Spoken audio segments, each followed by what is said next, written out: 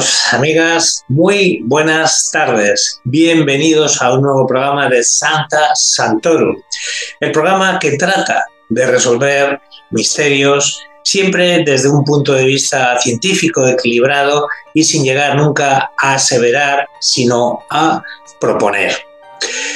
Hoy, cuando son las 18 eh, horas y 3 minutos aquí en España, eh, adelantamos un poco el horario del programa, que eh, es siempre las 22 horas, dado que hoy, pues a las 10, a esas horas, es la hora pues de estar con la familia, de cenar y de despedirse del año. Hoy, 31 de diciembre, el 2022 se nos va y nos entra ya mañana, esta noche, el 2023. Hoy en Santa Santorum vamos a resolver o tratar de, resolver o proponer un misterio que es realmente hay vida después de la muerte. ¿Qué ocurre cuando morimos? Eh, ¿Qué ocurre cuando una persona se suicida? Em, ¿Qué hay de verdad sobre el karma, vidas pasadas? Hablando también en este, en este aspecto, eh, ¿qué, ¿qué, ocurre con los niños, por ejemplo, no nacidos o los abortos, o una persona eh, que es asesinada.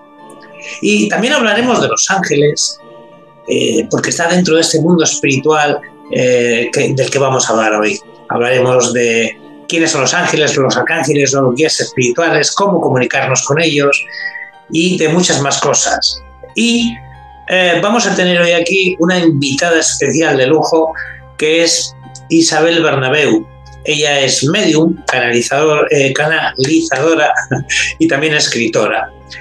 Ella nos va a ayudar a comprender o entender bien este, esta pregunta, va a tratar de responderla, la vamos a conocer y también vamos a conocer eh, pues todo lo que ella ha experimentado, vivido en su despertar espiritual.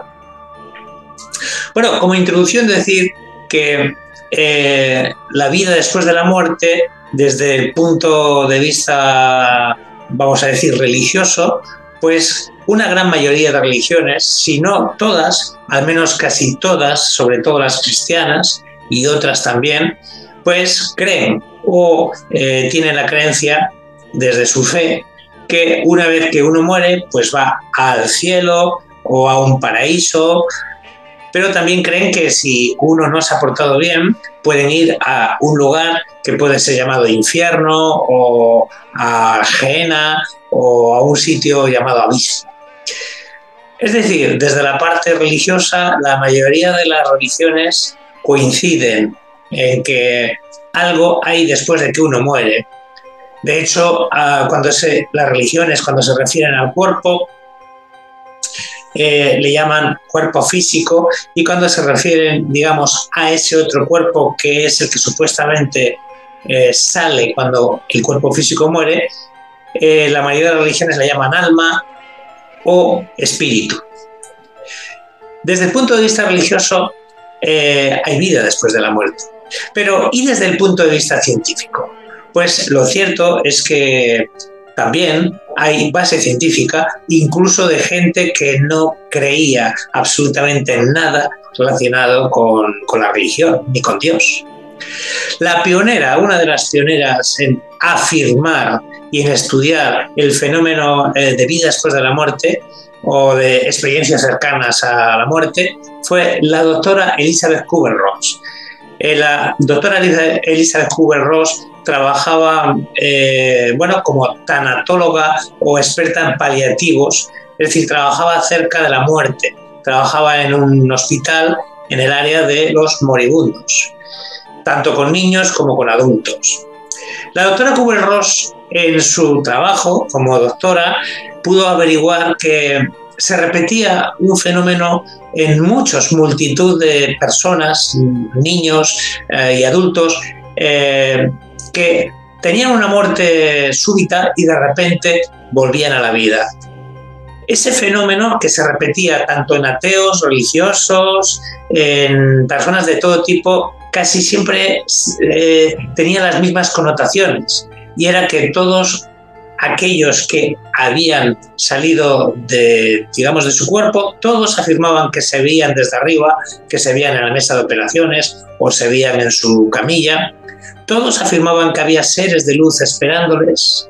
Todos ellos afirmaban que pasaban por una especie de túnel de luz y que allí había como una especie de ciudad muy parecida a la Tierra, donde había un ser vamos a llamarle Dios, que les esperaba, e incluso se encontraban con familiares y personas que conocían que estaban allí en ese lugar.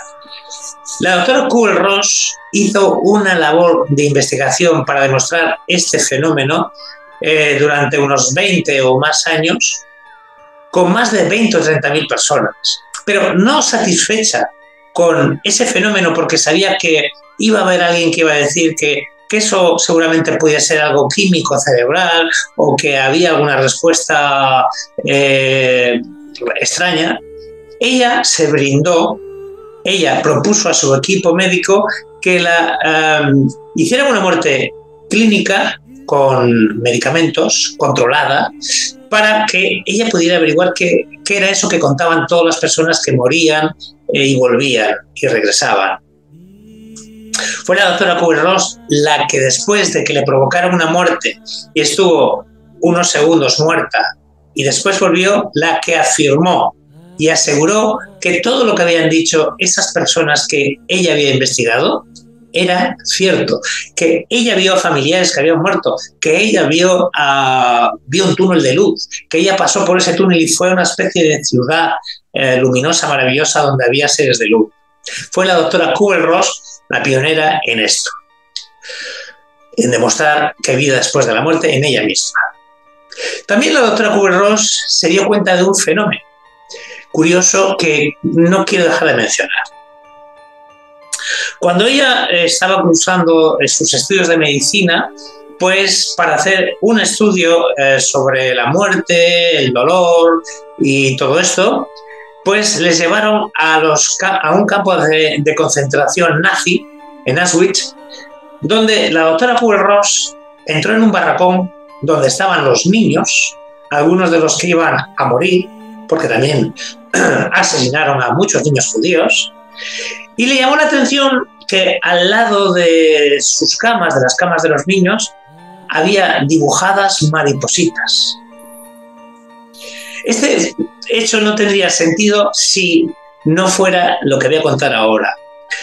Cuando eh, había niños que iban a morir en el hospital donde estaba la doctora Kubel-Ross, se dio cuenta que muchos niños que dibujaban, porque era una actividad que les eh, hacían hacer a los niños para que no se centraran en su enfermedad, la doctora Kubel-Ross vio que todos los niños, o una gran mayoría de niños que iban a morir, dibujaban mariposas, igual que las que vio allí en, el campo de concentración nazi.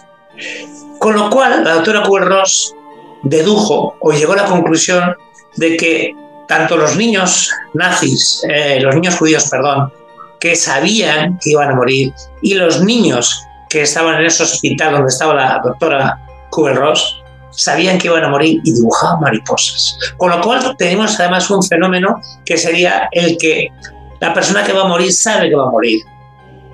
Y yo curiosamente, curiosamente, he tenido a pacientes eh, que eh, me han manifestado que eh, cuando han estado en estados muy graves o estaban a punto de morir, algunos dibujaban mariposas. Con lo cual, este dato tiene que, quedarse como un dato importante.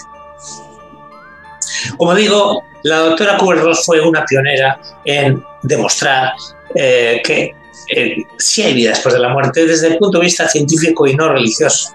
Escribió varios libros que son de obligada lectura como La Rueda de la Vida y otros muchos más que pido a, a todos vosotros que podáis leer porque no, no tienen ningún desperdicio y son obras maravillosas escritas con mucho amor, aparte de cientificidad. Pero la doctora Kubler-Ross, como digo, fue la pionera.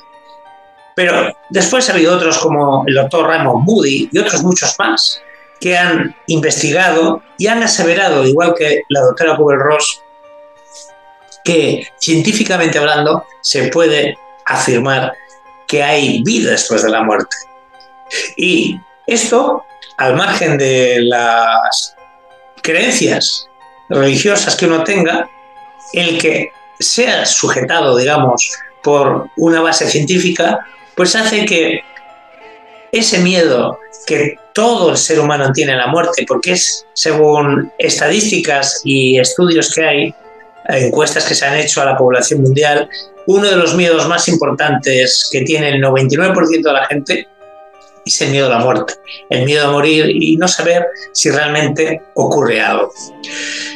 Detrás del fenómeno de vida después de la muerte están los llamados mediums, que dicho de alguna manera la palabra medium sería en resumen mediador entre la parte terrenal, lo terrenal y la parte espiritual. Los mediums eh, son eh, personas eh, que tienen, por decir así, una sensibilidad, una capacidad extrasensorial o paranormal para poder ver, escuchar y sentir a el mundo espiritual. Es verdad, también hay que decir que hay muchos estafadores, muchos estafadores que con el fin de tener fama o dinero, o las dos cosas, eh, pues se suelen publicitar en programas nocturnos de televisión diciendo que con el tarot y sus poderes pueden ver cosas y lo cierto es que hay gente que hace un abuso de un don natural que poseemos y me incluyo yo muchas personas. Yo personalmente como medium desde muy niño, desde muy pequeñito, desde que yo tengo uso de razón, siempre he visto y escuchado a seres que han partido y siempre los he visto como personas normales. De hecho, uno de mis primeros recuerdos, por lo menos que me viene a mi mente, fue cuando mi padre ya había muerto, hacía como un año que había muerto, murió en un accidente de trabajo, mi padre era minero y se hundió la mina. Yo recuerdo eh, que mi madre todos los años, antes del 1 de noviembre, que es el llamado Día de los Santos aquí en España, pues unos días antes mi madre iba a la tumba de mi padre y la pintaba, la limpiaba, la pintaba y la preparaba para el día eh, uno, para que estuviera bonita y ponerle flores. Y ese rato que mi madre estaba ahí, que siempre tardaba bastante, pues yo correteaba y jugaba por allí. Y recuerdo la primera vez que yo vi, que yo recuerdo ver un espíritu, pues yo estaba por allí por el cementerio corriendo y me encontré entre las tumbas una niña con coletas, rubia, con los ojos azules, con un vestidito creo que blanco o amarillo, y muy traviesa, me decía, ¿quieres jugar conmigo? Y entonces iba jugando y jugando y corriendo y jugando y corriendo con ella. Y de repente me dijo mi madre, venga Albertito que nos vamos. Y yo le dije, bueno, adiós ya, a ver si nos vemos otro día. dijo la niña, vale. Bien, hasta ahí todo normal. Para mí había sido pues una experiencia de jugar con una niña que estaba allí, que yo pensé que su madre o sus padres estarían por allí también limpiando una tumba.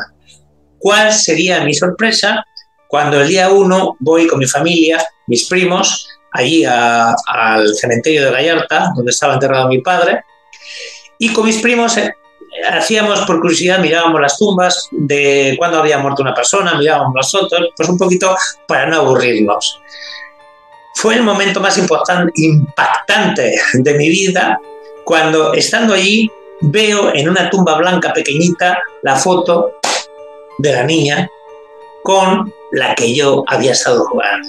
Y en ese momento eh, en mí surgieron desde confusión, miedo, eh, no sabía, no entendía realmente cómo podía ser eso. Y aunque mi deseo era contarle a mi familia que esa niña había estado jugando conmigo, a la vez sabía que si yo hacía eso, porque ya tenía 8 o 9 años por ahí, tenía una edad y sabía que que me iban a rechazar, que me iban a ver como loco, aunque yo sabía que lo que había visto, lo había visto de verdad. Después de esa experiencia que yo viví, no he tenido una ni dos, he tenido miles, miles. Aunque llegó un momento, eh, me costó muchísimo, eh, en el que pude diferenciar cuando la persona que tenía delante era una persona espiritual o era física. Digamos que la forma Ah, la, emoción o el sentimiento, la energía que yo sentía con un espíritu, aprendí a diferenciarla de la que tiene una persona física. No miran igual, ni sonríen igual, ni hablan igual y su presencia genera una energía que, como digo, cuesta, o a mí me costó unos cuantos años. Yo como medio canalizador nunca he querido resaltar ni cobrar por ello. Cuando yo he, hecho una canalización, la he puesto en mi canal, o cuando he conectado con alguna persona que ha fallecido y ha sido el caso, pues lo he dicho.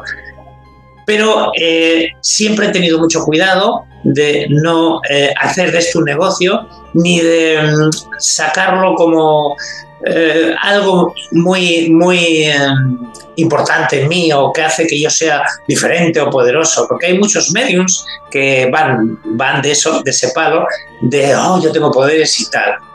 Lo que he aprendido en todos estos años, tengo 58 años, y sobre todo con mis maestros espirituales, es que este, este em, don, vamos a decirlo así, o esa mm, capacidad de canalizar con el mundo espiritual, la tenemos todos, porque lo que he aprendido es que todos somos seres espirituales que estamos, que estamos viviendo una experiencia terrenal temporal.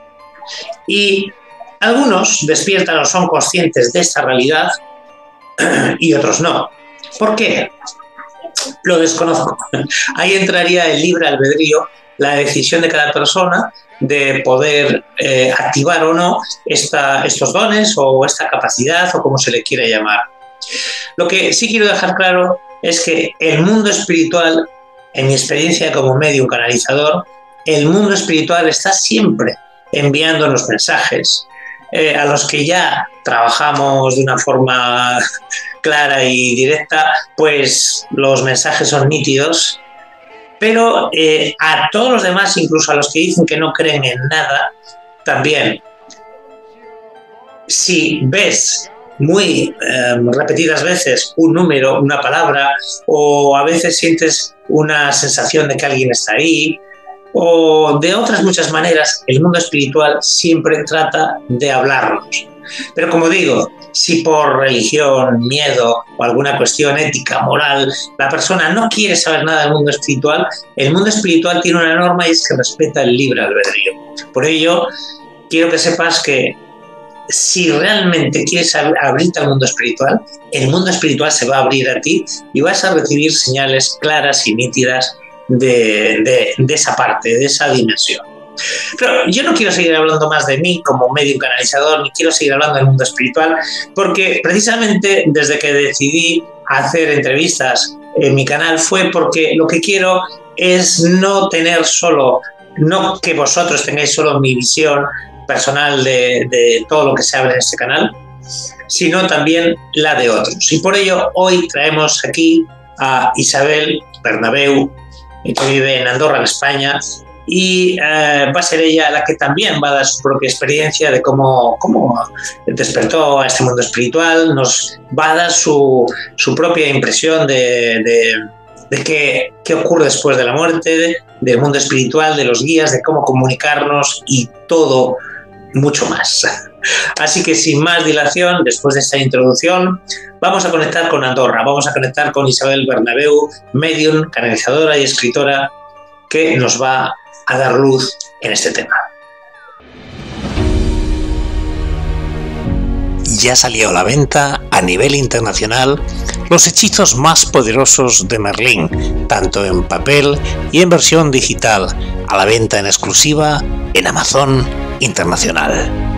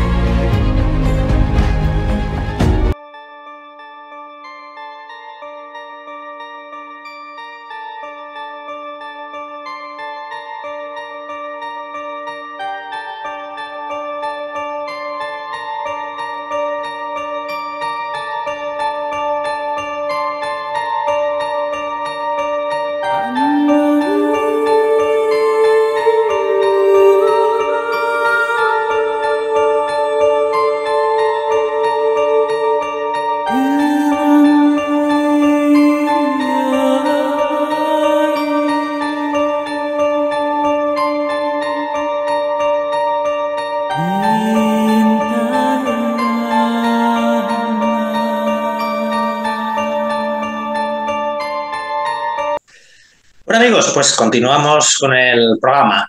Esa portada de ese libro que habéis visto es el libro de Isabel Bernabeu, que ya la tenemos aquí en España. ¿Cómo estás, Isabel? Muy buenas. Hola, ¿qué tal, Alberto?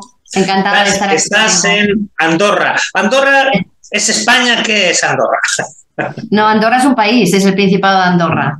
Porque Lo que pasa es que estamos muy sí, estamos muy pegaditos a, estamos entre España y Francia, para las personas que nos oigan de, de fuera. Eso es, que quede claro, porque yo, yo estaba en Andorra y he tenido que pasar una, ¿cómo se dice? Una... La frontera. Eso es. Bueno, Isabel, vamos a hablar hoy eh, del tema de, de, la muerte y todo lo relacionado con ello, los medium, los guías espirituales y demás. Pero aquí, en este programa y en este canal, tenemos un protocolo que no nos lo vamos a saltar contigo. y es que en la primera pregunta siempre queremos saber, te queremos preguntar que nos digas, ¿quién es Isabel Bernabeu? ¿Quién eres? Bueno, Isabel Bernabeu es es una trabajadora de la luz ahora actualmente, ¿vale? Eh, pero sí que desde pequeñita siempre nos pasaban, nos pasaban muchas experiencias muy extrañas, ¿vale? Eh, estas experiencias de a veces sentirte que no te ocurren las cosas que le ocurrían a los amiguitos, empezar a ver cosas extrañas. Claro, para un niño cuando empieza a ver sombras o empieza a ver seres, pues ahora, ahora ya somos adultos y, sabemos representar, sabemos lo que nos estaba pasando. Pero cuando somos pequeños nos vamos encontrando con todas estas cositas, ¿no? Pero yo voy creciendo, voy creciendo y vamos buscando, ¿vale? Estamos, estamos en la búsqueda un poco porque digamos que estas experiencias tanto extracorporales como digamos que a nivel de sueños también, ¿vale? Ocurrían muchísimas cositas extrañas. Pero con 12 años yo tuve una experiencia eh, espiritual muy fuerte. Mm, yo me salí del cuerpo y, sí que me fui a una dimensión. Me fui a una dimensión que es mi casa, evidentemente. Ahí es donde pude tener el contacto con, con los ángeles y, bueno, ahí pues me dieron muchos mensajes. Esto fue una experiencia que me marcó mi vida, pero aún así pues voy creciendo y, ya en mi libro eh, lo explico, ¿no? Explico cómo, cómo se vive esta experiencia. luego vamos a hablar de tu libro. Sí. Oye, Isabel, todos los que hemos tenido este tipo de experiencias, eh, todos los que hemos despertado estas cualidades, incluido yo, muchos hemos sufrido, no sé tú, yo sí, moving, porque claro, cuando empiezas a decir que ves o sientes cosas, pues la gente empieza a verte como un loco y demás, ¿no? Eh, ¿Cómo viviste tú eso en tu ambiente, en tu familia, cuando vieron que eras diferente? Sí. No, yo, yo en cuanto a esto no, no me sentí rechazada por la gente. Sí que es verdad que he tenido siempre gente que, que me quería mucho y me entendía, ¿no? Em, pero sí que lo que yo hacía es que yo me lo callaba mucho. Por ejemplo, en el instituto, ¿vale? Cuando ya eres, eres adolescente, pues como que te lo callas sí que te das cuenta, empiezas a darte cuenta de que eres, de que te pasan cosas diferentes, de que no vives, digamos, la realidad o de, la realidad física o mundana, no la vives como, como la vivíamos, ¿no? Como, como la viven otros jóvenes. Mm. Pero sí que estas experiencias y estas cosas que me ocurrían o yo podía ver, las podía compartir, pero con muy pocas personas, ¿no? Pues con gente muy íntima. Y sí. Sabes que Hollywood, las películas Gods y ese tipo de películas así, ¿no? De, del mundo de los, de los espíritus, yo creo que igual ha confundido mucho a la gente respecto a lo que realmente es un medio y su, misión, ¿no? ¿Cómo podrías definir tú, para que la gente lo pueda entender, qué es un medio y cuál es la misión de un medio realmente? Hmm. Un medium es la persona que es capaz de entrar en otras realidades y sirve de mediador entre el espíritu y la parte física y nosotros. Sí. que es verdad que yo ahora que paso muchísimas consultas con gente, me doy cuenta de que las personas tienen muchas más facultades de las que creen tener. Sí que es verdad que ahora estamos en una era de acuario, entonces una era del despertar, y, hay más personas que acuden y que, y que, y que te cuentan estas experiencias. ¿no? El medium es la persona que es capaz de poder contactar con los seres que han trascendido que han fallecido y tanto están aquí en, sin trascender o o están en la luz y puedes comunicar con ellos. Y sobre todo, para mí el medium es, te dejas, o sea, hay varias formas de contactar con los espíritus. ¿eh? Yo, yo lo aprendí como dejando, o sea, eh, entregándome y dejando mi cuerpo que entraran ellos en mí. Esta es la parte más peligrosa. Quiere decir que hay muchas formas de aprender para que al final estos residuos energéticos no queden en ti. Todo esto yo lo tuve que aprender con el tiempo, porque a mí lo que me ocurría es que yo me desmayaba. Yo perdía el conocimiento y, yo me transportaba a otros lugares, ¿no? O, los propios espíritus. Es como que es una energía que hay, tú puedes entrar en un lugar y si eres hipersensible, porque el medium es una persona muy hipersensible, lo, lo sientes, sientes todo, siente tanto las energías, los pensamientos de las personas, como los seres o los, las entidades que puedan estar en el lugar. Y esto lo vas, lo vas sintiendo. Yo llegaba a un momento en que era, era tanto la energía que, que llegaba a mí que yo a veces me mareaba y perdía el conocimiento. Eso me pasaba de joven. Hasta que al final aprende, aprendes a controlar tu canal. Se dice que cada medium es distinto porque algunos son clarisintentes, otros clarividentes y otros clariaudientes. ¿Tú qué eres? ¿Qué, tienes más desarrollado o todo? Yo un poquito de todo, o sea, yo los veo, los puedo ver, eh, puedo dejar que entren en mí eh, que yo, yo me retiro, yo siento como me puedo retirar de mi físico, me quedo en la parte de atrás y entonces ellos, eh, esto ya no lo hago tanto, ¿eh? esto ya no lo hago. Sí que es verdad, con seres de luz sí, yo canalizo al arcángel Gabriel, entonces con los seres de luz no hay ningún problema, pueden perfectamente entrar en ti y, pueden hablar por ti. ¿Cómo les, ¿cómo les ves? ¿Cómo los veo? ¿Cómo los ves? ¿Cómo son? Porque claro, igual volvemos a Hollywood, que las películas a veces distorsionan mucho la verdad, ¿no? ¿Tú cómo las ves? A ver, yo eh, cuando viene una persona a la consulta y yo tengo a lo mejor veo, veo a su ángel, yo los conozco por la energía, los conozco por la vibración. O sea, yo puedo ver un maestro, un animal de poder, puedo ver un ángel, puedo ver a a un maestro ascendido y siempre se conocen por la energía que mueven, por la vibración, por la radiación. Porque un ángel o un arcángel tiene una radiación increíble. Entonces, lo siento, yo primero lo siento, sé que están ahí. Después, a la hora de verlos, porque yo soy muy visual, yo puedo ver a, un ángel con, con alas, como, como cualquier persona se lo puede representar con su túnica y demás, pero no siempre los veo así. Yo muchas veces los veo normales, como nosotros, vestidos normal. Sobre todo cuando estoy en el tránsito o cuando estoy con seres fallecidos o tengo que llevarlos a la luz. Ahí yo vivo, películas completamente eh, y ahí los veo como si fueran enfermeros. Tú te imaginas, eh? Una persona vestida de blanco que se acerca al ser, habla. Y yo en este momento, cuando yo no puedo interceder con ellos, porque es como que mm, hay veces que los seres fallecidos que no están en la luz y tienes que interactuar con ellos aquí en este plano físico, ellos están perdidos. Entonces hay veces que no entienden dónde están. Entonces, no siempre me dejan que pueda interactuar con ellos. Entonces yo me retiro y es cuando su ángel habla con él. Entonces yo los puedo ver de muchas maneras.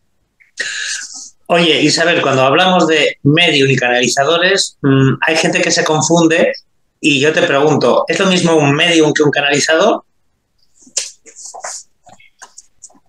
A ver, en mi caso sí, ¿vale? Eh, el medium, según mi experiencia, el medium nace, pero también se pueden aprender muchas facultades. ¿eh? O sea, en, la vida podemos aprender porque el canalizador, todos somos canalizadores, todos somos canales. Porque yo siempre digo, todos venimos de la fuente, todos venimos y vamos al mismo lugar. Por tanto, aquí en la Tierra, cuando decidimos encarnar, ¿vale? Y decidimos encarnar, digamos, la parte dual, por eso tenemos el ego y la voz de nuestra alma, tenemos nuestras dos, nuestras dos partes.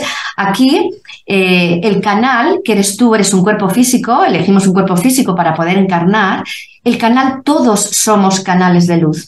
Por tanto, todos podemos acceder al mundo espiritual y podemos comunicar con seres de luz, con guías. Esto es lo que yo hago ahora actualmente. Y ¿Por qué a algunas personas les cuesta o no pueden canalizar? Eh, ¿El miedo, por ejemplo, puede ser un factor que, impida esto?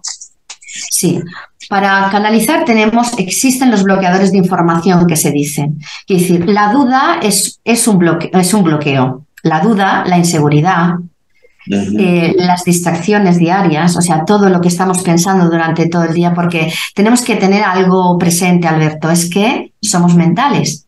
Mm. Todos somos mentales. Es la primera, la primera ley del universo. Entonces, la mente es la que nos permite poder canalizar o poder entrar en un estado alterado de conciencia. Entonces, todo va a depender mucho de nuestra educación espiritual que tengamos ¿vale? De la conciencia espiritual que tengamos. Pero todos podemos hacerlo. Pero la duda, el miedo, las inseguridades y las distracciones diarias, estos 60.000 pensamientos que nos entran al día y sobre todo la educación que nos han dicho que tenemos que hacer o no hacer, esto es lo que nos hace, nos permite más o menos. Pero sí que es verdad que hay personas que son muy susceptibles de poderlas enseñar porque yo ahora estoy muy enfocada en, estoy formando a gente con, siendo un canal espiritual y que puedan contactar con sus guías espirituales. Y aquí me encuentro a muchísimas personas que, o sea, las experiencias son muy bonitas porque al final canalizan y cuando una persona ha canalizado a su guía espiritual es increíble, ¿no? Porque es una situación muy bella pero hay muchos bloqueadores de información. Yo me encuentro con que mentalmente estamos muy, muy sujetos a unas creencias. Todo va a depender de la creencia en la cual tú te sujetes. Pero, tienes una eh, creencia. Mm. Aquí eh, quiero hacerte una pregunta importante con lo que estás diciendo, al hilo de lo que estás diciendo. Eh, lo de las creencias. ¿Da igual que uno sea ateo o da igual que uno tenga una religión? Es decir, canalizar no tiene que ver con las creencias de una persona, en, principio, ¿no? Sí, sí, sí, no tiene nada que ver, no, no, no. No me refería a esto. Pero sí que es verdad que una persona que es atea, una persona que no cree que más allá hay vida, ¿eh? Que, que, no cree que, tiene a sus guías espirituales desde siempre. Desde pues por una, barrera, ¿no? Evidentemente, hay una barrera mental. Por tanto, claro, eh, sí que es verdad que yo me encuentro con personas que sí, que sí que creen, porque por supuesto para esto vienen, porque ellos quieren contactar, pero como han llevado muchísimo tiempo pensando de un modo determinado, hay que reeducar la mente. Ahí entramos en, en el control mental, en reeducar toda la parte del inconsciente, del subconsciente y cómo funciona nuestro cerebro. Porque al final somos espirituales y conectamos con nuestra espiritualidad por medio de nuestra mente. Isabel, en las redes sociales, en programas de televisión de estos nocturnos, suelen aparecer mediums que por una cantidad de dinero en la llamada, pues te dicen, no sé, que contactan con tus seres queridos o te dicen el futuro. Eh, ¿Cómo saber cuándo un medium es de fiar? Vamos a decirlo así. Ya. A ver, em, hoy en día, sabes que, bueno, pues hay mucho, hay mucho de todo. Sí que es verdad que esto eh, desmitifica un poquito eh, a lo mejor el saber, ¿no? Cómo, cómo, yo puedo fiarme, ¿no? De, ¿no? Y las personas que estamos, digamos, en este trabajo como a trabajo profesional, pues sí que hay veces que mm, tenemos que lidiar un poquito con este factor, ¿no? De decir, ¿es o no es? Yo a la gente le diría, cuando tenemos que buscar a alguien, porque esto lo digo yo también, eh, o tenemos que buscar ¿eh? en, este momento, ¿no? O, esto que queremos, de buscar un medio, la persona lo tiene que sentir en su corazón. Es como una llamada.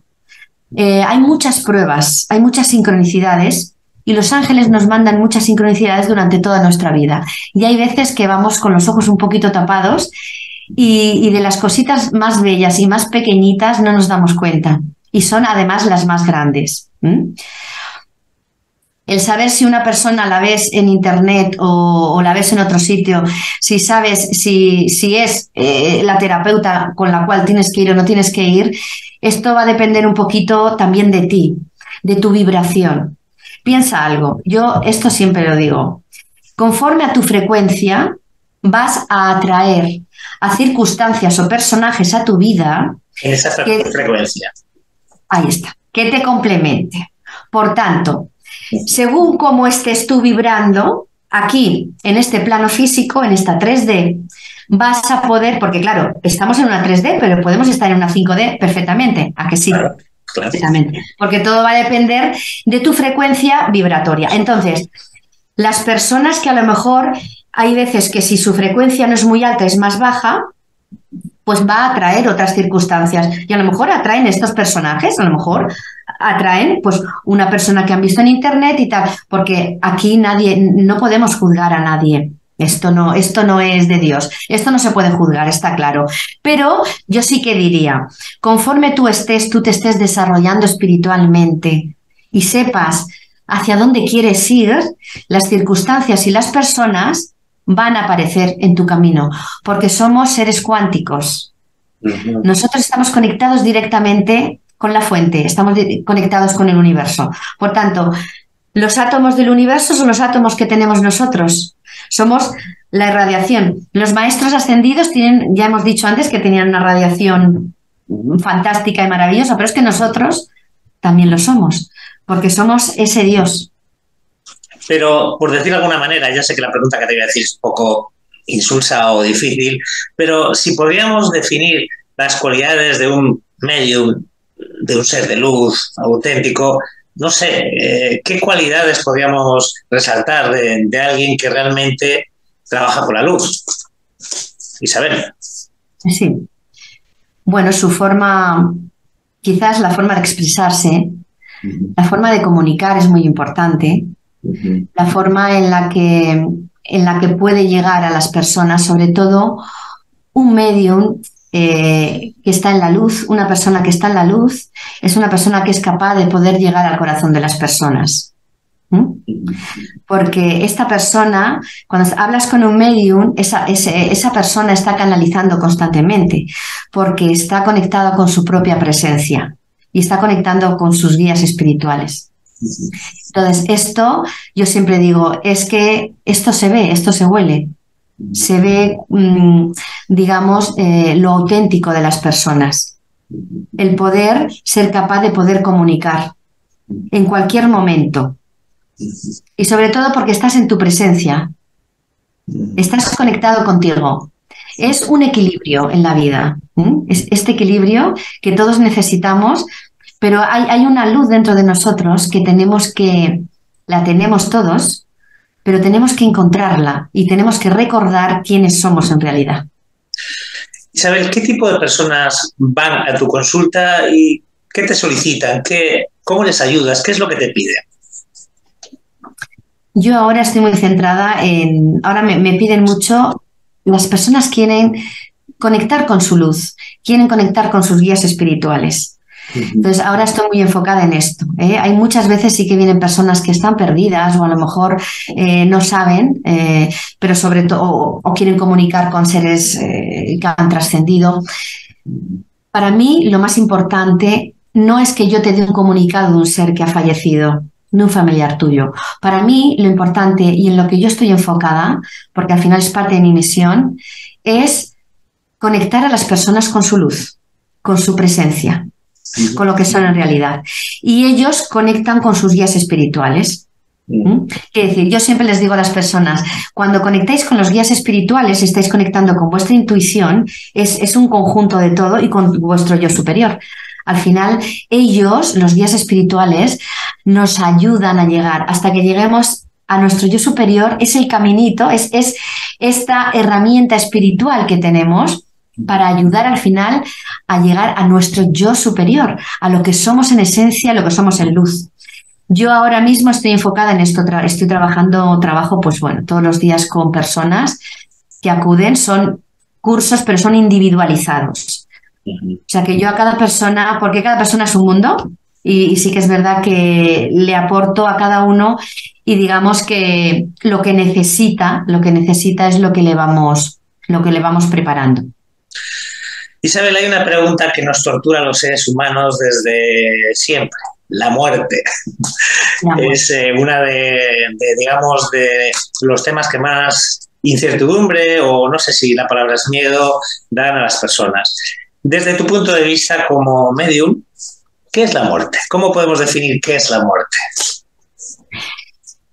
La muerte es, es un paso, porque en realidad la muerte no existe, es un paso a otro mundo a un mundo que es en el cual el mundo en el cual vinimos.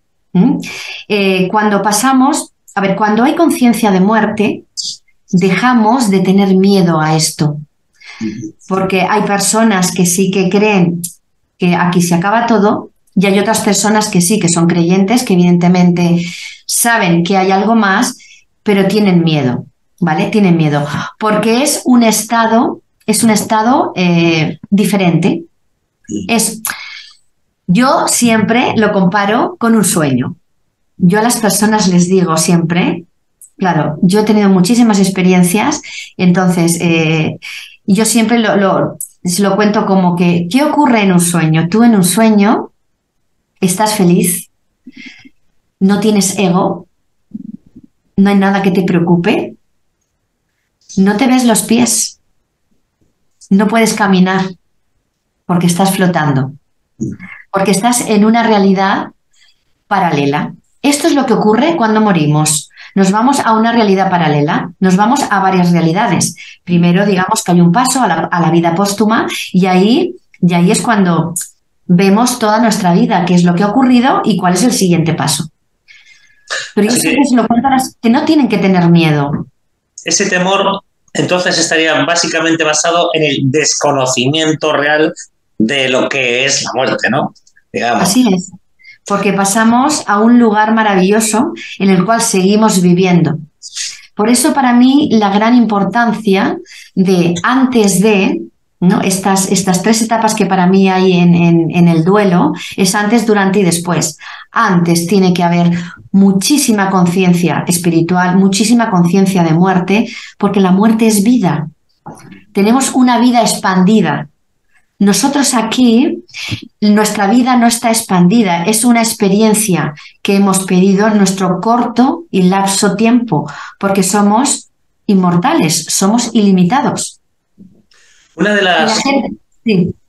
Iba a decir que una de las pioneras en demostrar científicamente que hay vida después de la muerte, una de las pioneras, fue la doctora Elizabeth Kubler-Ross, y ella cuenta en sus libros, pues, cómo las personas que regresaron pues pasaban un túnel de luz y veían ahí a sus familiares y tal, ¿no? Realmente es así. ¿Cómo lo ves tú o cómo lo sientes tú, ese sitio? Cuando yo he tenido las experiencias con, con seres que, he tenido que acompañar, a llevarlos, llevarlos a la luz, yo cuento mi experiencia. O sea, estamos, es como que estamos aquí en este plano, ¿vale? Cuando este ser, esta persona, para mí son personas porque las veo así tal cual. Cuando esta persona eh, ya me puede escuchar, yo he podido tener una conversación con ella. Yo esto nunca lo hago sola. Siempre están mis guías ahí conmigo. Y ellos son los que me van eh, cubriendo, digamos, de alguna manera. Y me dicen, ahora aquí o ahora ya. ¿eh? Siempre. nunca lo podemos hacer solo. Entonces, cuando yo esta persona ya puedo hablar con ella y ya tengo el contacto, siempre, esta persona siempre vienen familiares y vienen sus ángeles a por ellos. O sea, imagínate lo acompañados que estamos en el umbral. Y yo siempre voy hasta donde puedo acompañarles, yo no puedo llevarlos mucho más allá. ¿Y ese famoso túnel de luz, Isabel? Es una puerta, es una puerta que se abre de muchísima luz y ahí se conecta con un túnel de luz. Pero es luz, es mucha, mucha luz. Ahí ellos entran, yo ya no puedo seguir con ellos. Yo es que como, y es como que yo lo suelto, lo suelto ahí. Pero se representa como una, es una puerta de luz. Cuando yo estoy aquí en este plano, pero estoy con ellos, igualmente, yo siempre lo veo representados con, con puertas de luz. Son puertas que se abren como multidimensionales, se abren y se cierran. Y esto, esta puerta, esta puerta te, la, te conduce a un túnel. Pero yo no puedo, yo no puedo entrar a ese túnel con ellos. Yo me quedo detrás de la puerta. Hay gente que me ha preguntado, sabiendo que ibas a venir, me ha hecho algunas preguntas. Algunas de las preguntas que yo tengo aquí me las han hecho seguidores de este canal. Quiero, quiero aclararlo, ¿vale? Entonces, una de mis seguidoras de México eh, me ha dicho que no diga su nombre, yo no se lo digo. me pregunta eh, si realmente, como enseñan las iglesias, hay un cielo para los buenos y un infierno para los malos. Vale. No. Eh, vamos a ver, no somos buenos ni somos malos. Somos seres que hemos venido a vivir experiencias de vida. Entonces, sí que es verdad que según lo que tú te hayas pedido aquí en esta vida, porque tenemos pedidos de vida, tenemos contratos, somos nosotros contratamos una vida. ¿Qué ocurre? Esto es con el tema de la ley del karma. No porque estés viviendo una vida complicada en cuanto a karma, en el momento tú eres consciente de esa vida, esa vida tú haces conciencia, el karma desaparece. Es como que se sana el karma. Lo único es que esto, ya en esta era de Acuario, en la que ya vamos evolucionando a, muchas, a, mucho más, digamos, más multidimensional, no es tan importante. Sí que si tú has tenido una vida en la cual después, es lo que hemos dicho, cuando pases a la vida póstuma, sí que hay lugares en los cuales te dirán, tú tenías que haber hecho esto, esto y esto, hiciste esto otro. Ahí sí que Claro, la gente puede decir, esto puede ser el infierno. No existe un infierno lleno de fuego para nada, pero sí que, sí que existen lugares en los cuales la conciencia es como que tiene que volver a aprender. Ahí en ese lugar, ahí en esos lugares. La película de nuestro hogar lo estaba pensando, me ha sido el pensamiento. Claro, la, película de nuestro hogar lo explica, lo explica muy bien. Psico Javier de Psico Javier, porque yo he tenido muchos en los, yo he tenido contactos en los cuales los seres no estaban en la luz y han tenido, sí que han tenido pues eh, vidas a lo mejor ¿eh? eh, no incorrectas y están en lugares complicados, en lugares oscuros que tenemos que aparecer nosotros para darles un poquito de luz. Y ahí es cuando yo pido la ayuda a los ángeles o a los ángeles de estas personas para que, para que me ayuden a interceder. Entonces, ¿qué ocurre si, si estas almas, estos seres que ya han fallecido, están ahí? Claro, el tiempo, el, tiempo no lo podemos decir porque no sabemos del tiempo, pero pueden permanecer en la oscuridad un tiempo, claro que sí. Pero siempre, siempre va a haber este momento de luz en el cual te van a dar la oportunidad de decir, ¿quieres pasar a la luz? Siempre va a haber ese, esa oportunidad. Bueno, tengo más preguntas que me han pasado, pero antes quiero decir una cosa. A los que estáis aquí ahora en directo, hay un chat, ah, si está en el ordenador creo que sale a la derecha. Podéis hacer preguntas y si a Isabel le parece bien, os contestará, ¿vale? O podéis hacer comentarios también, ¿de acuerdo? Bien, seguimos. Otra pregunta que me han pasado, eh, también de México, me dicen que si hay una hora ya escrita para nuestra muerte, si está escrita la hora y día de nuestra muerte. Eh, a ver, sí que, sí que hay un momento, sí que hay un momento de nuestra muerte. Sí que lo hay porque precisamente las vidas las creamos nosotros las diseñamos. Por tanto, hay un momento en el que tienes que partir, seas con 10 años o seas con 80 años. Sí. Lo único es que, bueno, no es bueno saber cuándo vas a partir. yo nunca lo diría, yo nunca lo diría. yo tampoco. Es decir, que como si tenemos ya predestinadas ahora, si tenemos accidentes de tráfico o, o, lo que sea y no es nuestra hora, pues podemos milagrosamente eh, digamos, salvarlos, ¿no? Así es, porque muchas veces hay muchos accidentes en los que han muerto 30 personas y se salva una. ¿Por qué se ha salvado esa, esa persona que estaba también, por ejemplo, en el avión? ¿no? Estos casos. ¿Por qué no llegó tu hora? Porque no ha llegado tu hora.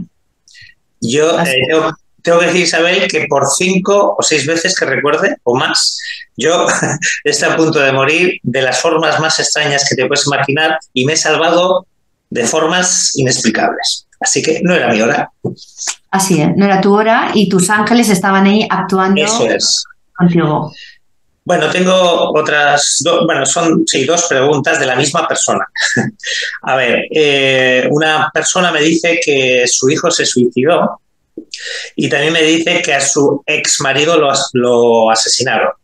Que en el caso de suicidio y de alguien que lo asesinan, ¿qué pasa con, con estas personas, con estos espíritus? ¿Dónde van? ¿Qué ocurre con ellos? Una persona que se suicida, por ejemplo. A ver, una persona que se suicida, eh, digamos que mm, ha cortado un poquito eh, el, canal, el canal de vida. Eh, van, van a un lugares, a lugares que yo he tenido contacto con, con personas que, que, se han suicidado. Sí que hubo un chico, no hace mucho, que tuve ese contacto con este ser y yo pude hablar con él. a ver, si estas personas no podemos hablar con ellos y no hay nadie que intercede, digamos que van, van a unos lugares especiales, porque tú has cortado la vida, has cortado, digamos, tu destino. Tenemos que saber el por qué se ha suicidado. Eso te iba a decir, que cada caso será diferente. Cada caso es diferente, porque puede ser que tú en otra vida algo hayas hecho y te puede repercutir en esta. Porque el que hayas vivido en otra vida otras circunstancias de vida, esto te lo traes kármicamente a esta vida. Por tanto, no hay siempre una regla eh, para todo igual. Pero sí que es verdad que estas almas eh, van a un lugar determinado en el cual también se les habla, se les advierte, ¿vale? Y se les sana. Porque al final, kármicamente hay que sanar. Y se les va sanando. Igual a lo mejor este ser después vuelve a encarnar otra vez y se queda en el lugar donde lo dejó. Esta alma puede volver a, encarnar y, se, y vuelve a la vida donde se quedó para seguir su evolución. Porque tenemos, tenemos una vida evolutiva. La vida evolutiva eh, va hacia adelante, va a más. Entonces, si, si hay, estamos hablando del tema del suicidio, que corta el suicidio, pues evolutivamente volvemos otra vez en otra vida de otra manera. Vale, Isabel, y en el caso que, también esta mujer ha planteado, que asesinan a alguien, es decir, no era su hora, todavía no era su hora, y viene alguien y le, dispara o le mata, ¿eso cómo, cómo lo explicamos? Pues puede ser su hora también. Ah, sí. O sea, es decir, la hora a uno le puede llegar de cualquier manera. Así es, así es. Son contratos, son contratos, claro, esto es muy fuerte, pero hay, muchos contratos en los cuales, bueno, pues eh, tú en esta vida esto, pues yo en la otra vida eh, pasará esto otro. Ya, ya, ya. Es decir, que eh, el llegar tu hora es todo lo que tú también, a ver, ahí también afectan muchísimas cosas, pero también em, cómo tú vives esa vida a ti te han asesinado, ¿no? Pero cómo, cómo vives la vida, eh, en qué frecuencia te encuentras, cómo estás conectado contigo, todo, todo depende, o sea, todo, todo, todo, la vida que tienes, tus creencias también, y es que estés conectado con tu presencia. Esto nos afecta a todo, pero hasta un asesinato puede estar ya predeterminado kármicamente. Claro, es que como no estamos mentalizados para morir de formas así, ¿no? Drásticas. Pues nos cuesta entender, claro. Claro, nos cuesta entender, pero después tú ahí entras, preguntas y desde la parte espiritual te enseñan muchísimas cosas que dices, Dios mío, y esto, pues esto es así, esto es así, así, así, y te lo explican los seres. O tus guías espirituales. Mm. Isabel, Mariana de Cali, de Colombia, me dice que ya ha tenido eh, cinco abortos y que pregunta que con esos futuros, bueno, esos niños no nacidos, que dónde están, si es que están en algún lado. Sí, cuando, cuando hay un aborto, todo también es como todo, ¿eh? Todo depende de cuál es la situación. Si tú hay un aborto que, que lo has hecho voluntario o es un aborto involuntario. Estos seres se quedan y viven en otras realidades. mm. viven en otras realidades. Hasta incluso son contratos también hechos de decir, tú te quedarás embarazada, pero yo no llegaré a nacer o yo moriré a los dos años o a los tres años. Mm. Y además son enseñanzas para los padres generalmente. Eso, eso te iba a preguntar. Hoy me estás leyendo la mente todo el tiempo. para que veas cómo funciona. Sí, sí. no, estoy asombrado porque es que te iba a preguntar eso. Claro, porque yo estoy canalizándoles la información, lo que me están diciendo ellos.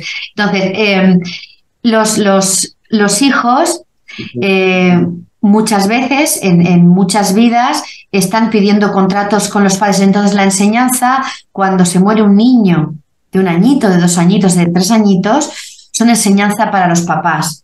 ¿Mm? Eh, algo que tienen que aprender o que tienen que expandir conciencia, tienen que abrirse a la luz. ¿eh? Igual hay, hay muchos padres que yo conozco también de que a raíz de la muerte de, un ser querido, a la raíz de la muerte de un hijo, estos, estas personas han cambiado sus vidas, se han abierto o han ayudado a otras personas en, este tránsito. O sea, mil, mil situaciones que se pueden hacer. Siempre hay aprendizajes de vida.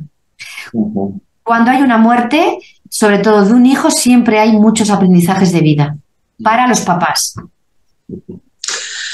Isabel, Marisa de Argentina me dice que lleva bastantes años pasándolo muy mal, problemas de todo tipo, y ella piensa que es mal karma, que si es así, ¿cómo, cómo puede limpiar su karma? Eh, Marisa de Argentina. Sí. Limpiar el karma. ¿Cómo limpiar el karma? A ver, Marisa, yo te diría que mm, el karma está ahí, pero nosotros vamos a algo mucho mayor. Que no esté enfocada en las cosas malas que les pase. ¿Qué es lo que ocurre cuando estamos prestando atención a algo que siempre me está pasando? Ya estoy premeditando y estoy decretando, es que es un karma, es algo malo, es algo que me está viniendo. Entonces yo le estoy dando fuerza a eso que me está ocurriendo, lo que sea, ¿eh? Mm, no tenemos ni por qué saberlo, pero sí que es verdad que esto le estoy dando yo una fuerza. Entonces, ¿en dónde estoy? ¿En qué vibración me encuentro? Ella lo que tiene que hacer es decretar desde la presencia yo soy, desde, desde lo que ella es que ella es el reflejo de Dios, decretar que todo está bien y que todo es perfecto. Que hasta aquí ella acepta todo lo vivido y a partir de aquí todo irá desarrollándose correctamente, conforme el plan divino suyo. Porque esta persona, igual que todos, tenemos un plan divino, tenemos algo que hacer. Entonces, es muy grave que las personas esto hemos pasado todos por ahí. Pero es grave. Es grave que estemos enfocados en lo negativo. Es grave que tengamos una vibración pesada, una vibración baja. Porque como somos muy mentales, sí, los ángeles y los seres de luz están ahí. Pero si tú eres negativo y siempre estás enfocado en cosas malas, el universo te responde conforme a lo que tú estás sintiendo. No solo porque estás diciendo o estás pensando, sino porque tu cuerpo y todo, o sea, sobre todo aquí en este chakra del corazón, ¿vale? Y, y, el del plexo solar, está emitiendo unas ondas vibratorias. ¿A dónde? Hacia los átomos del universo. Por eso imagínate si tú estás canalizando un ángel y tú, tú estás con tus guías espirituales, tus guías están en ti, están contigo y tú estás conectado a ellos, ¿cuál va a ser tu vibración? El karma no es karma, el karma ya ha pasado. Esto es lo que yo le diría a Marisa. El karma ya ha pasado, tiene que enfocarse en su alta vibración. Esto es lo que nos va a sanar y lo que va a hacer que nosotros podamos conectar con nuestro yo superior.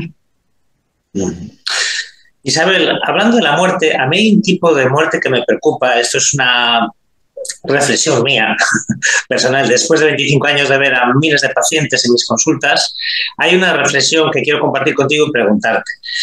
La muerte que me preocupa es esas personas que están muertas en vida, es decir, que están vacías, que no tienen ninguna ilusión, que les da igual vivir o morir. Tú me comprendes, ¿no? Ese tipo de muerte también es preocupante. ¿Qué se puede hacer con esas personas muertas en vida? Estas personas, si no ven más, pues evidentemente es complicado. Tendríamos que llegar a estas personas todo lo que podamos para poder, para poder cambiarles su frecuencia. Porque mira, el verbo tiene mucho poder. El verbo cura. Las palabras curan. Y si tú puedes, eh, si tú estás con una persona y tú la ves o viene a tu consulta y, la ves así, que, que, está, como dices tu muerte en vida, es porque no tienen ninguna ilusión ni ningún aliciente. Necesitan escuchar algún aliento o algo. Algo que tú le digas para que las puedas descolocar y puedan decir, guau, ¿qué está diciendo esta persona? ¿No? Hay algo mucho más allá de esta situación. Entonces, evidentemente, si no puedes llegar a ellas, es difícil que puedas. Pero yo me he encontrado con muchas personas así, o les he puesto la mano en el corazón, o les he dicho cuatro palabras para que ellas puedan reaccionar. Es tenderles esa mano a estas personas. Pero hay muchas personas que viven así, o simplemente porque quieren vivir así, o porque tienen los ojos vendados. Alberto, quiero decir, hay veces que mm, no te ha llegado la hora de despertar. Siempre decimos que todo llega a su momento y su lugar. Y hay personas que, les cuesta despertar. Yo siempre digo, bueno, las personas que tengan que despertar, aquí estoy, y las que no estén preparadas, ahí, ahí, es donde está nuestra divulgación, ¿no? El decir, tenemos que cada vez ser cada vez más para que la frecuencia del planeta pueda subir y podamos estar preparados para el cambio. Isabel, ¿quién es para ti ¿Quién es para ti Dios? ¿O qué es? ¿Quién o qué? Es la creación, es el todo. Dios no es un señor que está en un trono con barba y una con barba y no. Dios es cada cosa que tenemos aquí. O sea, no solo está en el universo, sino que está aquí en, en el planeta Tierra. Dios es cada frecuencia, es cada detalle, es, cada cosita que la, tienes fuera y la tienes dentro. O sea, Dios está en todos los lados. Pero Dios somos nosotros. Nosotros somos omnipotentes. Somos omniscientes. Somos lo que Él hizo. Él lo creó todo y nosotros somos ese Dios en potencia. En potencia. O sea, no somos pequeñitos, somos muy grandes. Pero se nos ha olvidado, se nos ha olvidado se nos ha olvidado, Jesús ya dijo, yo hago milagros, vosotros haréis muchos más. Nosotros hacemos, ¿no? A los, o a los maestros ascendidos, los de las huestes, los de la hermandad blanca, los invocamos, los traemos. Si supiéramos que nosotros somos propios maestros ascendidos, somos los propios maestros nuestros de nuestra vida. El maestro no está fuera, ya no hay nadie que tenga que ir, este es el maestro o la maestra, no. El maestro y la maestra está dentro de nuestro corazón, está dentro de nosotros. Por tanto, Dios es todo. Y ahora le toca el turno a los guías espirituales. ¿Quiénes son los guías espirituales? Los guías espirituales son estos seres que, que tenemos en nuestra vida desde nuestro nacimiento. Pueden ser ángeles, pueden ser arcángeles, maestros. Los maestros son personas que han vivido en esta 3D como nosotros, en la Tierra, y por evolución ahora sirven, sirven al ser humano y nos guían. Los maestros ascendidos sí que son los maestros Jesús, Buda, Krishna, son ya maestros mucho más ascendidos que también vivieron aquí en la Tierra. Entonces, ellos nos ayudan en todo. Una vez tú eres capaz de poder conectar con tus guías espirituales, que los guías espirituales eres tú, solo que en otra frecuencia vibratoria. Un animal de poder. Un animal de poder eres tú en una frecuencia chamánica. Un ángel cuando un ángel pide estar contigo en esta encarnación, el ángel tiene también unos pedidos, tiene una misión contigo. Es un ser de luz que tiene una misión. Es decir, que si no funciona o tú no conectas con tu ángel, es como que este ángel, su misión, no la completa. ¿Mm? Un arcángel es un poco más diferente. Es sí que hay, hay, hay personas que tienen arcángeles con ellos. Lo que pasa es que el arcángel no es tanto como el ángel, que está más, más pegado a ti, digamos, es más codo con codo. Sí que es verdad que el arcángel es una frecuencia mucho mayor, pero sí que algunos arcángeles, pues sí que piden, piden vidas con personas, pues porque tienen una misión o porque de comunicar, ¿vale? Porque son muy comunicados, tienes que comunicar o tienes que hacer una, una, misión muy específica y entonces también te eligen, te eligen a ti para hacer una misión determinada. Luego estaría ese personaje que a mí me gusta mucho, bueno, personaje, ese ángel que es el ángel de la guardia o guardián, que se dice que es el que nos acompaña desde que venimos aquí a esta, a esta dimensión, ¿no, Isabel? el, el, ángel de la guarda. El ángel de la guarda es el ser que está contigo desde el nacimiento. Ajá. ¿Cómo ese amigo, ese amiguito que tienes ahí. Eso es. Ese amiguito invisible que algunos niños ven y luego dejan de ver por la represión de sus padres, ¿no? Sí, muchos niños ven, a mí me han venido muchos a la consulta, ¿no? Es que yo hablo con un niño, estoy en el patio, en el cole, lo que pasa es que nadie lo ve, pero, ¿sabes? Y, y a lo mejor los papás lo traen. Nosotros hemos atendido mucho a niños, ¿no? Y lo traen porque, claro, que el niño está hablando solo y qué le pasa, ¿no? Sabes que si van a los médicos ya sabes lo que va a pasar. Y, y es increíble cuando estás hablando con un niño y, te está contando esta, estos, eh, estas secuencias que tienen, ¿no? Claro, está ahí, o sea, ellos pueden ver los niños muy pequeñitos, hasta los 7 u 8 años no hay una contaminación, digamos, mental del sistema. Entonces ellos son esponjitas y lo ven todo. Ahí es donde yo siempre lucho por esta conciencia ¿no? que tenemos cuando somos niños. Tendríamos que mantenerla y, a los papás que nos escuchen, ¿no? Intentar eh, conectar con los niños de un modo especial y hablarles de la conciencia espiritual. Aquí no estamos hablando de religión, estamos hablando de la conciencia. Eh, si le hablamos también de la muerte a esos niños, eh, después perderán a un ser querido, un abuelito, y no tendrán o no tendrán ese tránsito y ese miedo, ¿no? O, a la mamá o al papá, ¿no? Qué importante es tener esa conciencia de muerte, ¿no? Y esa conciencia espiritual. Es importantísimo. Habitualmente, Isabel, se pinta a los ángeles como esos a los que solo hay que ir como un cajero automático cuando tenemos un problema o, nos pasa algo, queremos que nos ayude a encontrar trabajo, o yo qué sé, ¿no? Pero la función de los guías espirituales, de los ángeles, arcángeles y demás guías, va más allá de ayudarnos solo en el mundo material, ¿no? Y saber. Hay muchísimo más allá. Ella, ellos la única función que tienen no es material, la función es espiritual porque ellos son parte de tu espíritu, es un reflejo tuyo. Por tanto, eh, ellos te acompañan y además te ayudan para que tú entiendas quién eres tú, dónde está tu propia luz. Esa es la ayuda que ellos hacen, no para que te toque la lotería ni para que no. Esto, esto es una atracción.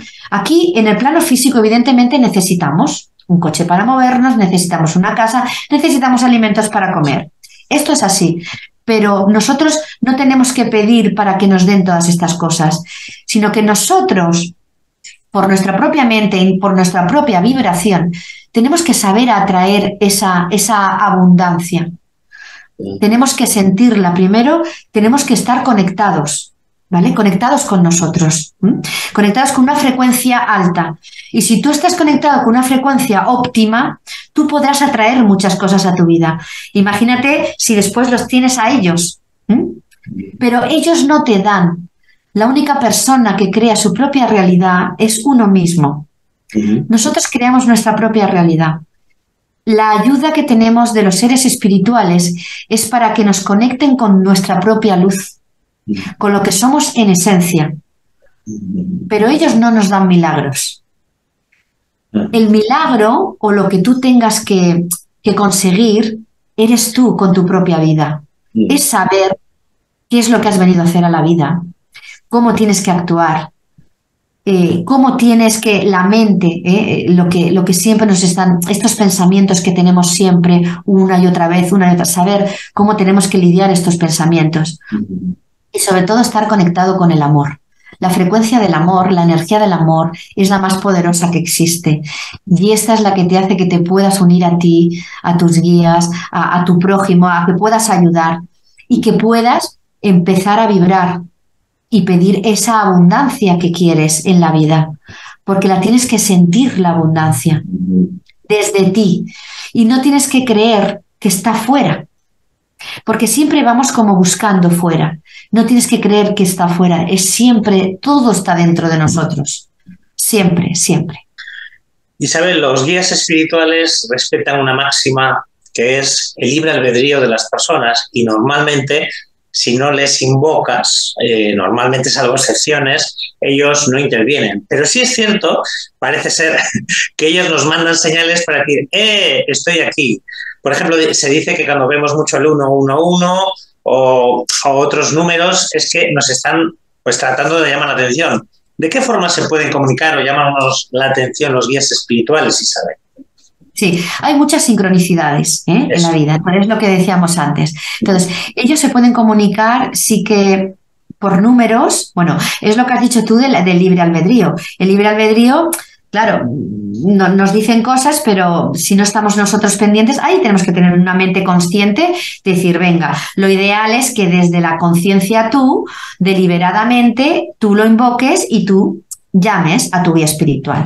¿De qué forma se pueden comunicar? Se pueden comunicar por números, hay muchas sincronicidades, ¿no? Hay muchas veces, pues sí, los números repetitivos, hay veces se comunican, generalmente los ángeles siempre hay tres veces, siempre es como que ves algo tres veces seguidas, esto es, esto es algo que, que te está diciendo, estoy aquí. ¿Cuántas veces vas a algún sitio y a lo mejor o tienes un libro en casa que no lo, no lo, leíste y el libro por lo que sea te cae y de momento ha llegado el momento en el que tienes que leer el libro? Otras veces entras al ordenador, igual a lo mejor en el ordenador quieres, quieres buscar, entras para buscar algo y te aparece una página determinada. Esto es lo que decíamos antes también de la vibración. Según tu vibración van a ir apareciendo cosas. También si vas por la calle, ¿no? Por la calle a lo mejor en pancartas o en, cosas de, a lo mejor un eslogan que te dice, ostras, me estás diciendo, mm, déjate ya de preocupaciones que, ¿no? Y a lo mejor tú estabas hoy súper preocupado, por ejemplo. Y muchas veces, muchas veces vienen con personas. A veces no te ha ocurrido decir, ¡guau! Me ha venido un ángel, esta persona es como un ángel, te ha dado un mensaje, te ha ayudado a algo determinado que has entrado, estás haciendo papeles y necesitabas una ayuda y ha venido esta persona. ¿Sabes? Estas situaciones, ¿no? Hay mucha magia. Es como que la magia de los guías espirituales están, y a lo mejor entras en un lugar determinado esto también hay que hacer conciencia para que tú, imagínate que te vas a arreglar papeles a algún sitio yo siempre pido, antes de entrar a ese lugar, siempre pido la presencia. Pido mi presencia con ellos para que me pongan las personas adecuadas que me tengan que ayudar. Pido a esos ángeles. Y esto ocurre, esto es como magia te tienes que acordar. Esto es de un modo deliberado, evidentemente, pero si no te acuerdas, otras veces, claro, puede ser igual que si tu vibración en ese, en ese momento, ese día, no sea muy buena, pues sea todo un poco fatal. Por tanto, tenemos que estar muy pendientes de estos detalles. porque en cualquier situación nos están hablando. Por los sueños también es un medio que utilizan mucho, ¿verdad? Sí, en los sueños, los sueños también. En el sueño sabes que dejamos cuerpo, salimos, ¿vale? Salimos, pero yo siempre digo, y, además a las personas que vienen yo siempre les digo, bueno, siempre que damos un mantra, ¿no? Es como que tienes que pedir ir a tu etérico, ¿eh? no ir a tu astral, porque en el astral está todo. Tenemos que ir a nuestra zona etérica y ahí en el etérico tienes que pedir que te den información sobre todas tus realidades, que te hablen. Entonces, en los sueños, o te habla tu alma o te hablan los guías espirituales. Además, en los sueños hay una connotación espiritual muy fuerte y hay mensajes muy, muy importantes. Las personas que se acuerden de los sueños, yo les diría que anotaran. Que anotaran el sueño, porque hay veces que se olvida. Ahora, si se hace un sueño lúcido, un sueño que sabes que estás soñando, un sueño importante, de estos de que no se te olvidan, ahí hay un mensaje muy, muy, muy importante. Ahí hay que prestarle mucha atención. Y la emoción que transmite el sueño también, ¿verdad? La emoción que sientes. ¿no? Sí. Es un mensaje también, la emoción. La emoción cuando tú te cuando tú despiertas. Eso es, esa emoción, ese sentido tal, ¿no? Sí, he, sentido algo bueno o algo malo, porque hay gente que pregunta, pero entonces, ¿es bueno o es malo? A ver, cuando son pesadillas, esto es el propio subconsciente, a veces que está muy cargado de mucha información y entonces la mente empieza a divagar. Pero sí que es verdad que cuando hay un sueño importante, tú te vas a despertar con una emoción determinada. Esto, esta emoción que tú tienes, yo lo que hago es que los escribo y después cuando los escribo siempre pregunto cuál es esa emoción. O sea, ¿qué es lo que siento? ¿Cuál es tu sentir? Entonces, si es un sentir eh, preocupante, que es de preocupación, tienes que prestarle atención al sueño porque te están, te están advirtiendo. Los sueños son advertencias también. Oye, Isabel, tú en tu, eh, digamos, experiencia, en las experiencias espirituales que habrás vivido, tendrás cantidad de anécdotas, muchísimas, pero antes de despedirte me gustaría, no sé, que puedas contar alguna experiencia así que, te haya marcado por, algo especial o alguna anécdota relacionada con, el mundo espiritual que quieras compartirnos. Sí. Bueno, eh, en cuanto a la mediunidad, yo os podría, os podría compartir una experiencia que tuvimos Estábamos eh, y yo en la consulta con una persona, una ontóloga eh, en particular, y venía a hacer una sanación. Pero eh, ahí en esta sanación, cuando empezamos a, poner las manos, pues digamos que se despertó algo. Esta señora ya nos, nos, buscó porque durante mucho tiempo había ido a muchos, a muchos sitios hasta incluso a sacerdotes, porque ella tenía unos seres que tenía con ella, que ella, ella lo, notaba y lo sentía, pero no había manera de que la pudieran ayudar.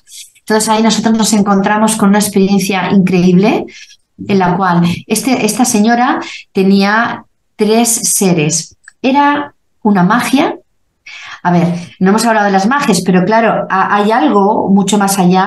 perdona que te corte, cuando hablas de seres, ¿hablas de entes negativos o...? No, son, son, son seres que han trascendido, que han trascendido, pero no a la luz, o sea, que han muerto, ¿vale? Que no están en la luz y, hay muchos trabajos espirituales de magia negra en la cual eh, cogen a seres para hacer trabajos o, personas, ¿vale? O sea, que han muerto y tienen que estar como vigilando esta, este trabajo. Aquí, aquí había, digamos, un ser, o sea, estos seres, yo siempre digo que eh, en la luz y con el amor, que yo solo pude disolverlos con el amor y con la luz, no pude hacerlo. Y ellos estaban unidos entre sí, los tres. Ahí, con esta persona, yo después, cuando me puse a trabajar con ella, me di cuenta de que tenía estos seres y tuve que ir poco a poco, tenían que entrar en mí, ¿vale? Tenían que entrar en mí para yo poderlos, eh, digamos, desligar, porque estaban unidos. El tercero es el que más costó, pero aquí es donde me di cuenta del poder del amor.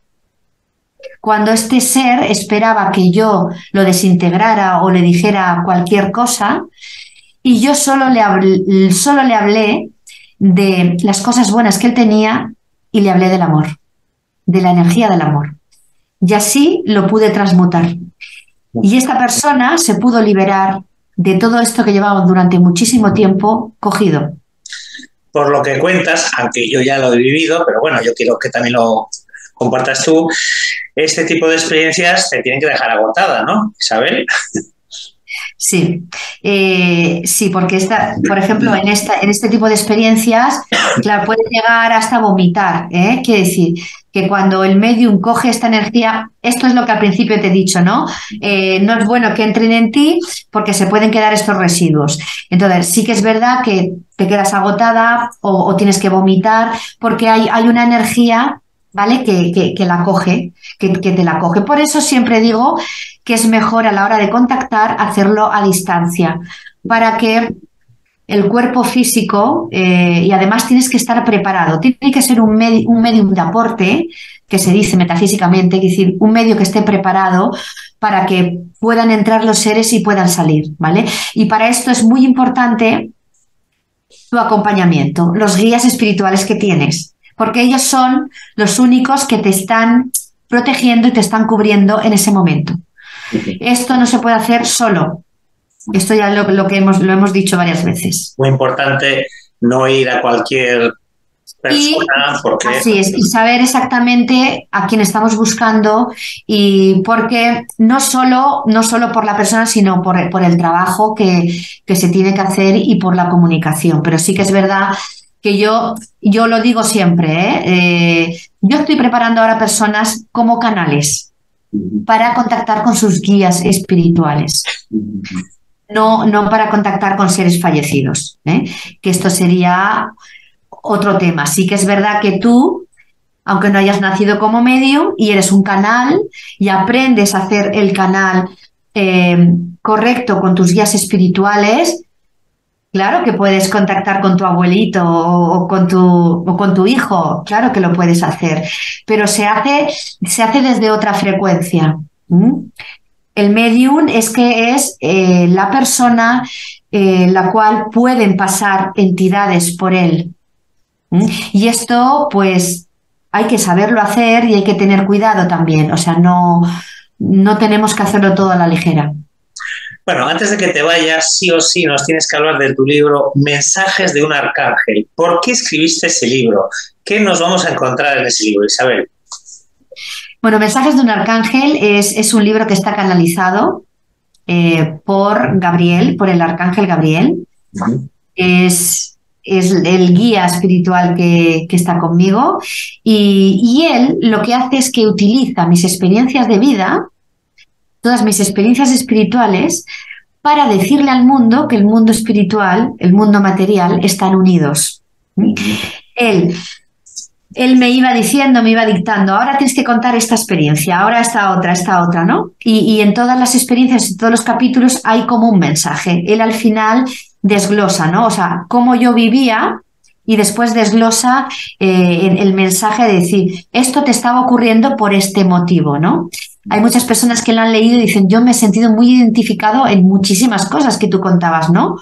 Porque al final es, es un libro muy sencillo, que está contado de un modo también muy, muy próximo y muy sencillo, en el cual lo que importa es eh, que hemos venido aquí a vivir experiencias, que todo ocurre por algún motivo, que estamos en nuestro despertar espiritual, y, además, cuanto más seamos eh, espiritualmente, digamos, cuanto más estemos eh, ahí en esa frecuencia, nosotros podremos también ayudar a la frecuencia de, de nuestro planeta.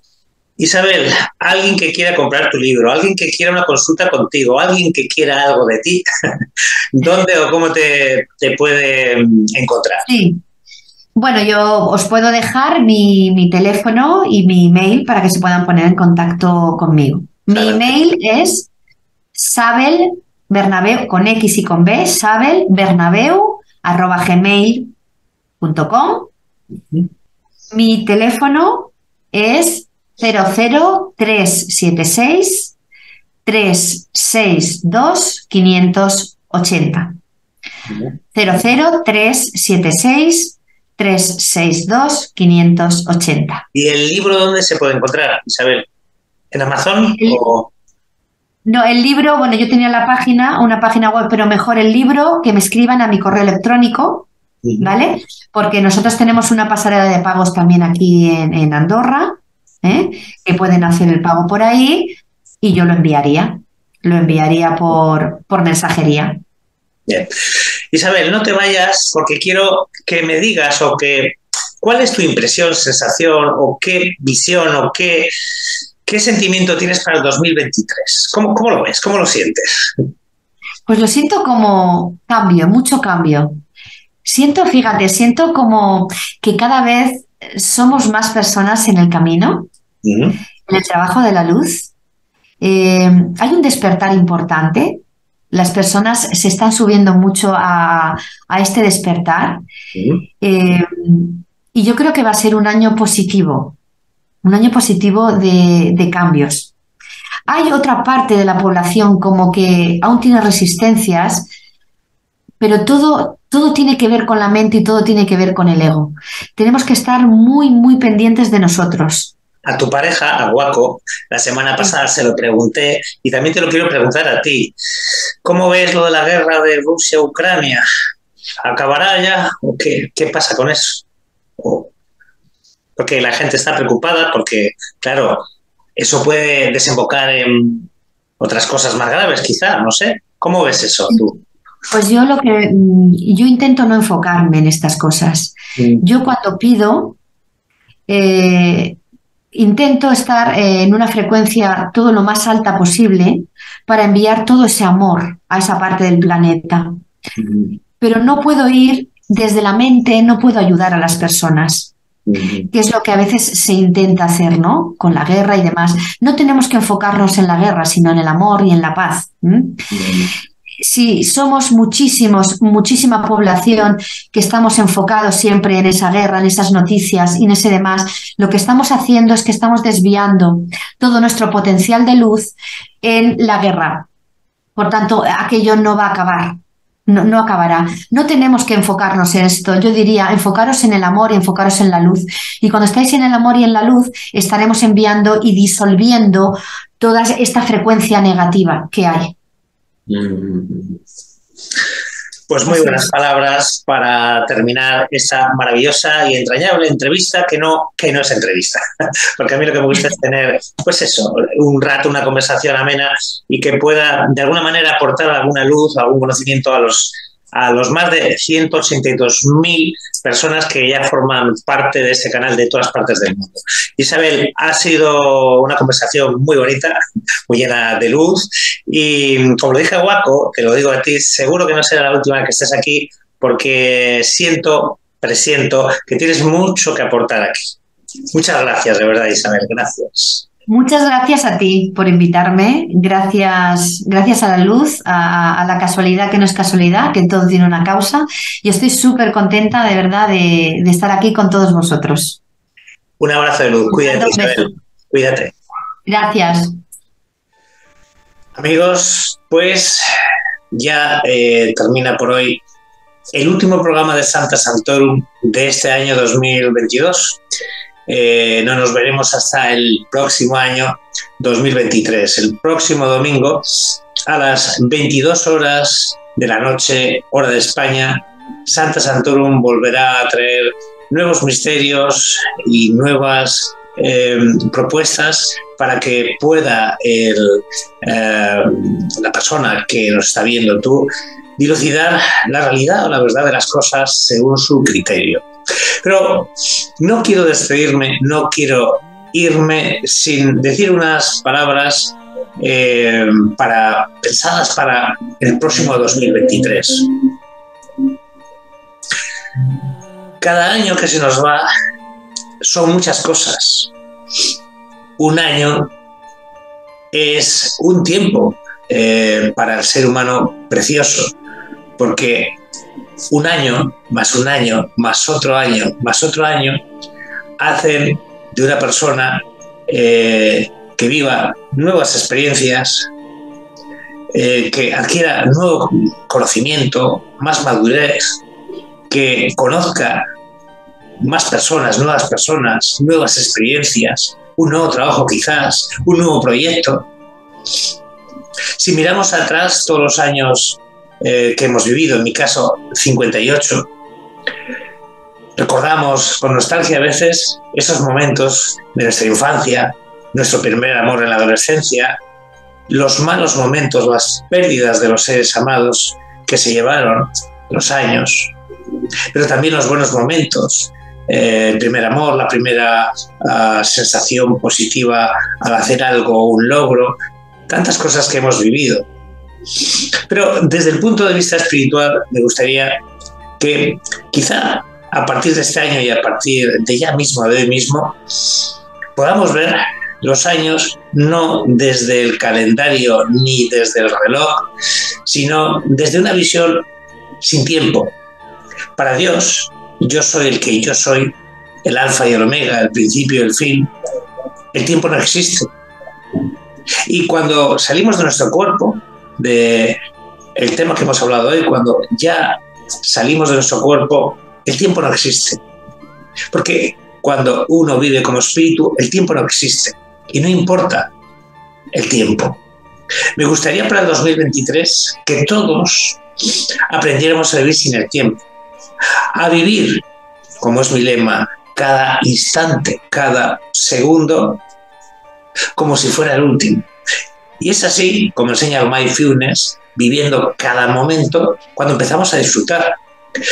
Porque si estamos con el estrés de querer hacer las cosas a un tiempo récord, o con la nostalgia, la depresión de aquello que ya no podemos vivir, o aquella persona que ya no está a nuestro lado, pues sin duda no vamos a ser felices. Os pido, repito, que este 2023 hagamos desaparecer el tiempo, que los relojes y los calendarios ya no importen, que solo importe vivir el momento, el instante. Y será a partir de ese momento que ya no haya tiempo, que ya no haya calendarios, que no haya relojes, que de verdad empezarás a disfrutar la vida y a sentir eh, cada instante como maravilloso.